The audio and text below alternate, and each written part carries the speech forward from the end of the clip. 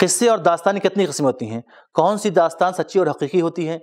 इतनी खुराफात और झूठ होने के बावजूद भी जनाब ईसा का चेहरा क्यों बाकी रहा? आइए इन सवाल के जवाब जानते हैं इस एपिसोड में। बसमीम नाजिर मोहतरम सलामकुम वरहमल वर्क एक बार फिर सबिल कुरान के तफसर प्रोग्राम में आपको खुश आमदीद कहते हैं। कुरान की तलावत ज़िक्र खुदा है। ज़िक्र खुदा से दिल को सुकून मिलता है। आपके सामने लेकर हाजिर हुए हैं सूर्य की आयत नंबर बासठ, तिरसठ और चौसठ। आइए सुनते हैं आयत नंबर बासठ और तिरसठ की तलावत और उसके तर्जुमे को।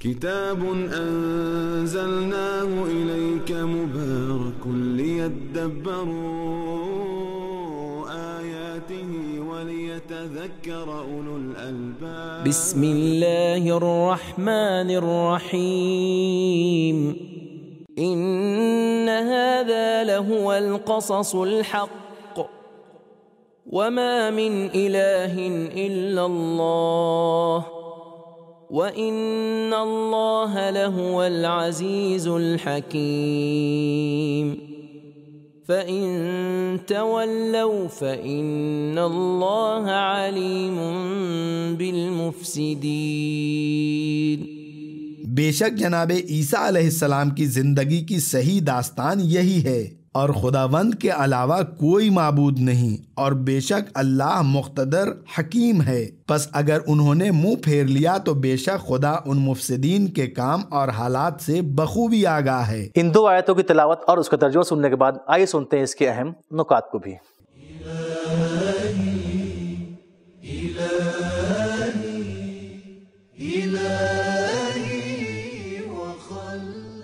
किस्सो दास्तान तीन तरह से होती हैं। नंबर एक रुमान अफसाने और किस्से कहानियाँ जिनके बुनियाद ख्यालात पर होती है और हकीकत से उनका कोई ताल्लुक नहीं होता। नंबर दो, तारीखी दास्तानें, जिनमें से कुछ तो सच्ची और मुस्तनद होती हैं और कुछ झूठी और गलत वाकयात पर मबनी होती हैं। नंबर तीन, वो हवादिस और कारनामे जो जबान वही के ज़रिए हम तक पहुँचे हैं। यही हकीकी दास्तानें हैं जो हक व सदाकत पर मबनी होती हैं कुरान की दास्तानें सब इसी किस्म की हैं उन कहानियों में वहम ख्याल झूठ और गलती का वजूद नहीं है अहम और मुफीद नुकात को सुनने के बाद आइए सुनते हैं इसके अहम और मुफीद पैगाम को भी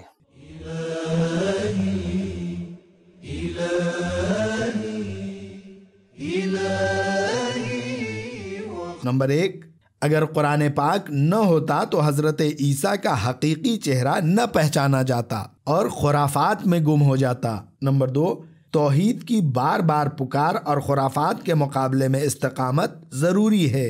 नंबर तीन, किसी भी पैगंबर की हर वो कहानी और दास्तान जो तोहीद के साथ तजाद रखती हो, वो जाली और बातिल है।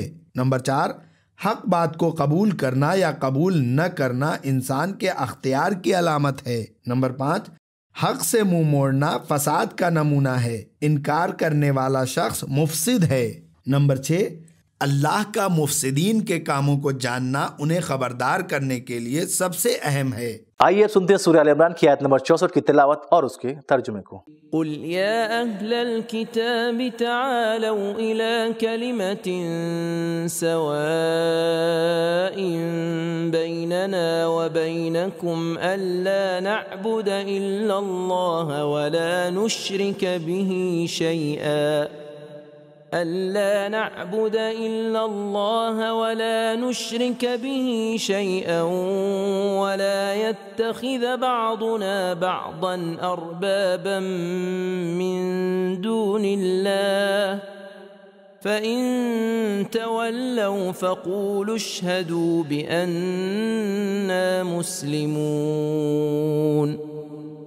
कह दीजिए अहले किताब, एक ऐसी बात की तरफ़ आओ जो हमारे और तुम्हारे दरमियान मुश्तरक है।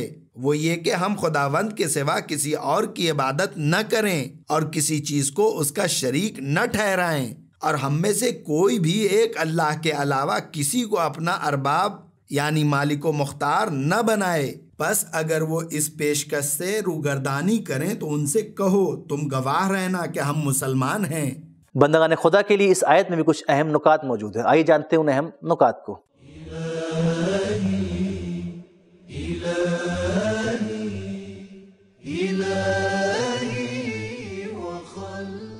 तोहीद और हक की तरफ़ दावत ज़रूरी है। खाह ये इस्तदलाल के ज़रिए हो या नफरीन मुबाहले के ज़रिए, या फिर मुश्तरकात की तरफ़ दावत देने के ज़रिए से हो। अदी बिन हातिम ने इस्लाम कबूल करने के बाद पैगंबर इस्लाम से अर्ज़ किया, जब हम ईसाई थे, हरगिज भी एक दूसरे को अपना रब करार न देते थे। बस इस लायत तकीदा बादुना बाजन अरबाबन के क्या माना है? आपने इरशाद फरमाया, क्या तुम्हारे खुदा के अहकाम को तब्दील नहीं करते थे? उसने जवाब दिया, क्यों नहीं? आपने फरमाया बस ऐसे आलिम की पैरवी जो खुदा के कानून को अपनी मर्ज़ी से तब्दील करता है एक तरह से उस आलिम की बंदगी और गुलामी है तफसीर मरागी गुज्त आयत की तरह इसमें भी कुछ अहम पैगाम है आइए जानते हैं उन अहम पैगाम को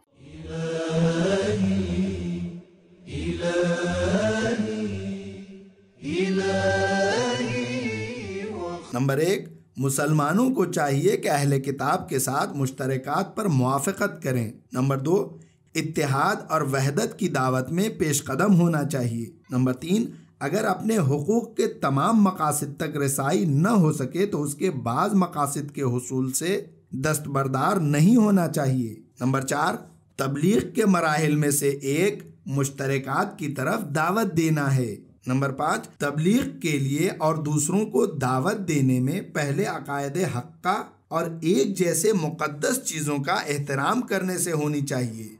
नंबर छः तोहहीद परस्ती और शिरक से नफरत, बेजारी, तमाम आसमानी दीनों में एक जैसे हैं। नंबर सात तोहहीद इंसान की तरक्की और कमाल का सबब है। तालो ऐसी जगह इस्तेमाल किया जाता है जहाँ रुशद हिदायत और आगे बढ़ने की दावत हो। नंबर आठ इंसानों का एक दूसरे की बेचुओचरा इतात करना एक किस्म की गुलामी, फिक्री इस्तेमार और एक तरह की उबूदियत यानी बंदगी है, जिससे दूर रहने की दावत दी गई है, जबकि तमाम इंसान एक दूसरे के साथ मसावी हैं।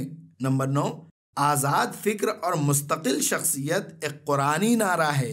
नंबर दस, मुखालफन का हक की तरफ़ दावत से रूगर्दानी करना और उनका मुखालफत करना हमारे ईमान और इरादे में ज़र्रा बराबर भी लफ्जिश पैदा न करे।